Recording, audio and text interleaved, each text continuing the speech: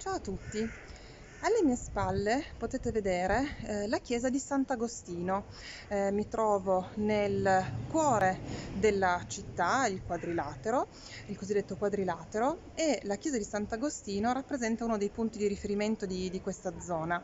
Una chiesa che eh, viene affidata ai padri agostiniani alla metà del 1500, che cento anni dopo eh, daranno poi l'incarico della realizzazione della struttura attuale eh, su un preesistente sito però di una chiesa risalente addirittura all'undicesimo secolo. Eh, la chiesa oggi si presenta con una facciata in stile, eh, diciamo, sempre manierista, eh, che però in realtà eh, venne realizzata all'inizio del 1900 da Carlo Ceppi in stile.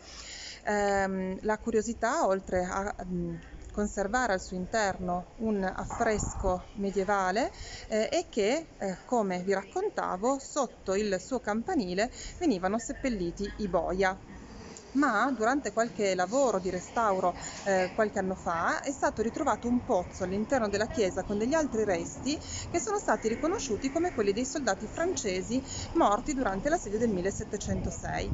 Quindi chiaramente i eh, caduti in quell'occasione furono veramente tanti e furono quindi evidentemente anche distribuiti nelle, nelle varie chiese e alcuni quindi anche qui in Sant'Agostino. Purtroppo non è sempre facile entrare perché ehm, molto spesso chiusa, ma quando poi è possibile veramente eh, al suo interno conserva delle bellissime opere.